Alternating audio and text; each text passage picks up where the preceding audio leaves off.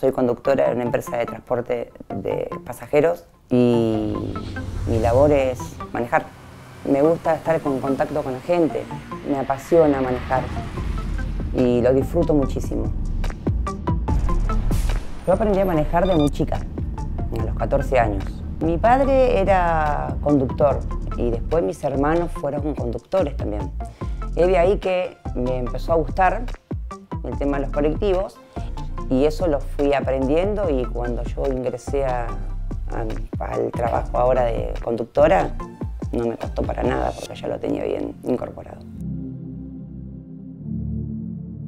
Mi hora de presentación es 6.13, pero yo siempre estoy 5.50, 5.40.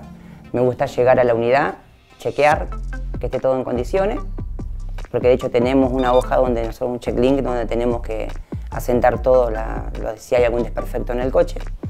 Y si vamos a hablar de, un servicio normal de tres vueltas, y tengo más o menos tres horas cada vuelta. Eh, es un trabajo para mí como cualquier otro. Yo te soy sincera, yo del minuto uno que estuve aquí en esta empresa, eh, yo jamás tuve problema con ninguno de los compañeros, fíjate que son el 99,9 hombres.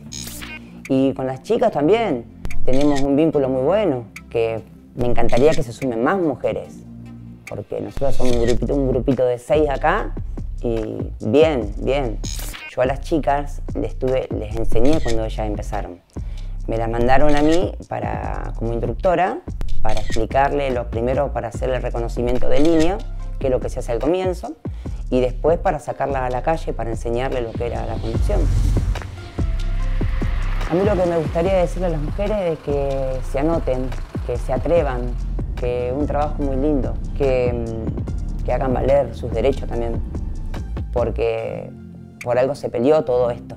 Entonces sería bueno que seamos, seamos muchas más.